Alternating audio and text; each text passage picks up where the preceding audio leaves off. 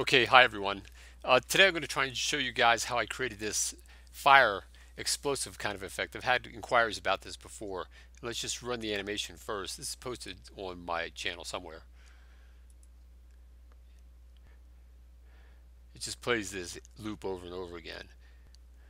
And so the effect worked pretty well. But so what's interesting about it is the way I created it is it's a combination of a couple things. First, like is typical with fire, sometimes fires swirl. So there's swirling effects associated with the animation. And also these things here, these little particles shoot out, kind of simulating, you know, exploding effects. That's maybe a little unrealistic, but it was kind of the effect I was looking for anyway. And so I'll show you how I did it. And believe it or not, it was created from one of my tornado scenes that I've done in Blender Render. Now, unlike the animation that I just posted a couple weeks ago where I was doing the particle-based tornadoes within the game engine, and those are particles that I generate on my own because there's not a particle system within there. But in this case, I'm actually using a particle system. And, and so really all it is, if I run the animation is in here, it's just, see that? It's a cone. And within the cone, that's kind of pre-built and that's moving along the ground as a particle system. And so the particles are getting emitted and they're hitting the inside of the cone and they're swirling up and around based upon the direction in which I'm emitting them from inside. And so the particle system is just following along the inside of the cone. It's attached to it and following along. And then, so this is the, these are the effects that I get when I creating tornadoes so if you have a really fast computer and you're doing some fancy cycles animation, you might try that.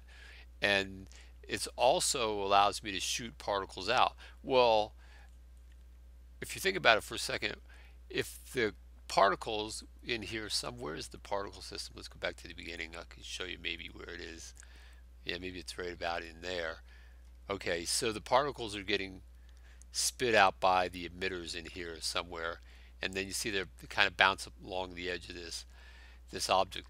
But if they're being contained, how do I get these explosive effects shooting out at the same time? Well, then, so let's go take a look in the material mode. You can see I have transparency set. And I have the alpha all the way turned down. So let's turn it up. So now we can see the actual object.